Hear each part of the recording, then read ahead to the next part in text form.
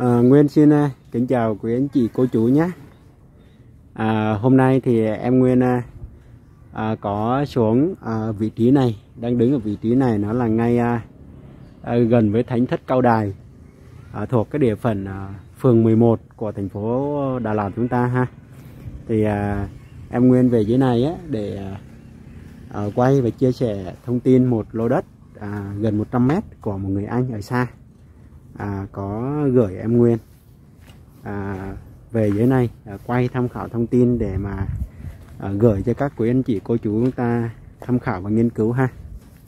À, cái con đường mà em Nguyên đang à, đang đứng đây ha nó là cái con đường thông. À, à, con đường à, thông suốt của khu dân sinh à, đi theo lối ra này. Là chúng ta đi ra đường à, à, quốc lộ 20 để mà chúng ta kết nối đi lên thành phố Đà Lạt cũng như là đi về à, à, Phan Rang đi Xuân Thọ Xuân Trường cầu đất Trạm Hành. À, đường này chúng ta cũng à, bọc được xuống luôn ha tại vì đường này là đường thông. Cái bề rộng của cái con đường này á, nó khoảng à, 7 mét khoảng 7 mét. Và bên này là thánh thất cao đài. Đó à, chút xíu nữa em xuống dưới kia thì em sẽ chỉ cho quý anh chị coi cái chùa Linh Phước cái chóp của chùa là chùa Linh Phước. À, vị trí này nó thuộc cái địa phận của phường 11 thì à, từ à, vị trí của đất chúng ta đi lên à, tới trung tâm thành phố Đà Lạt thì nó chỉ khoảng độ 7 cây thôi. À, là chúng ta lên tới chợ đêm của thành phố Đà Lạt ha. Đó. Còn như đứng ở vị trí này thì chúng ta cũng có thể nhìn thấy đường quốc lộ 20 này nó rất là gần. Đó, cái tuyến đường mà xe đang lưu hành ở dưới này ha. Đó đó đó. Đó chính là đường quốc lộ 20 từ ờ, vị trí đất mà chúng ta đi ra đường quốc lộ 20 thì ờ, ờ, nó chỉ khoảng độ hai trăm rưỡi mét thôi. Rồi bây giờ em em Nguyên đi vô cái vị trí lô đất của của cái người anh ha để quay chi tiết cho quý anh chị chúng ta xem ha.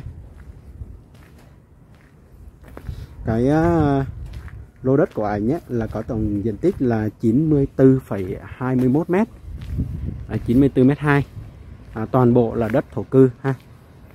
À, ở đây là cái con đường. Đây là con đường để mà đi xuống đất này. À, lối đi này là lối đi chung. Còn đất là chúng ta ở dưới kia. Thì à, từ con đường này xuống dưới đất á, thì nó chỉ khoảng độ 20 mét ha à. không không tới 20 mét đâu. Đó.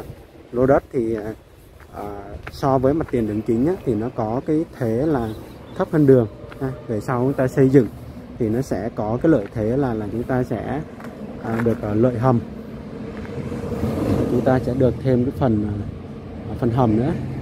Ở bên này à, cái mái đen đen thì có ngay chỗ tay em Nguyên chỉ đây ha. Ở đó chính là cái vị trí của chùa Linh Phước cũng như là trường à, tiểu học trại mát.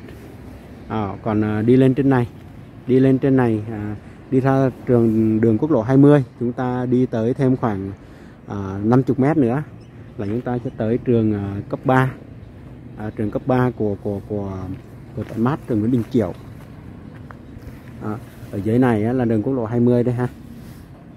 Cái vị trí đất của anh á, là tính à, từ dưới kia kìa ngay chỗ bụi chuối đó chúng ta kéo lên trên này. À, hai bên này là có nhà hết rồi.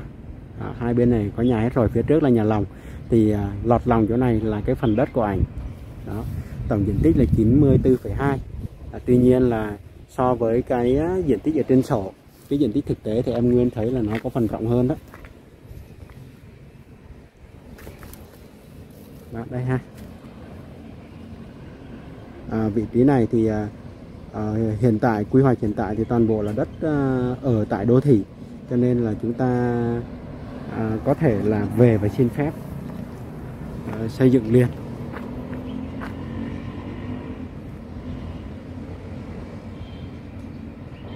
À, chút xíu nữa em Nguyên sẽ bay flycam lên á thì quý anh chị chúng ta sẽ nhìn rõ hơn cái à, địa thế của cái lô đất này ha. À, đứng theo cái vị trí mà em Nguyên đang đứng đây á thì à, lô đất này có hướng là hướng à, hướng Tây Nam. À, lô đất này có hướng Tây Nam. Đó khi mà chúng ta mà làm ngay vị trí này thì em Nguyên à, thấy rằng đó khu vực này nó thuộc cái à, khu vực có mật độ xây dựng tiêu chuẩn là một trệt một hầm một trệt một lầu và một áp mái. Thì khi mà chúng ta mà xây nhà lên ấy, thì chắc chắn là cái tầm view sẽ không có bị che khuất. Đó. Cái điểm mạnh của nó là là là khi mà chúng ta mà xây dựng lên ha chúng ta có tầm view thoáng này.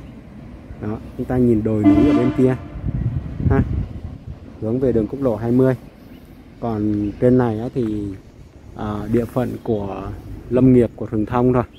Ở bên này là thánh thất cao đài chúng ta view rất là thoáng không bị che khuất. À, cái con đường xuống đất này nó có bề rộng khoảng ba mét rưỡi ha.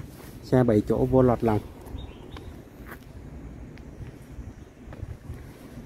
À, rồi bây giờ em Nguyên à, sẽ bay cái flycam lên. Cho quý anh chị chúng ta sẽ à, xem xét cái vị trí cũng như là cái địa thế nó ờ, đẹp hay không. Rồi à, nếu như quý anh chị mà chúng ta mà có quan tâm hơn À, về thông tin sổ sách cũng như là về giá cả à, của người anh à, của Nguyên cần bán. Thì à, quý anh chị cô chú liên hệ với à, Nguyên hoặc là để lại số điện thoại ở trên à, cái dòng comment bình luận để em Nguyên sẽ chủ động liên hệ và cung cấp cho uh, quý anh chị tham khảo ha. À, em Nguyên xin cảm ơn quý anh chị nhé.